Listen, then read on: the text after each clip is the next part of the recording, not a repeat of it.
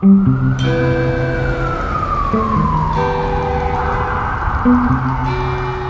bent een vrouw van adel. U hoort hier niet. Weet je wie dat is?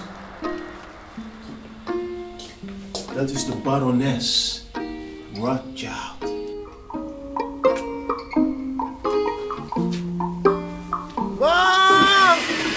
Vloog Lancaster bommenwerpers in de Tweede Wereldoorlog. Ja, Charlie Parker stierf in haar flat. En de familie heeft alle banden doorgesneden. Ze heeft vier kinderen achtergelaten. Ja, en er woont een zwarte man bij haar in huis. Ja, een pianist.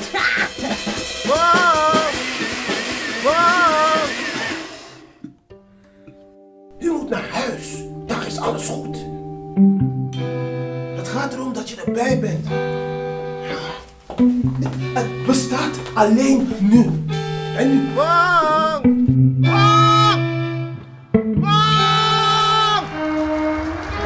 Mam. Wat ga je straks spelen? Thelonious?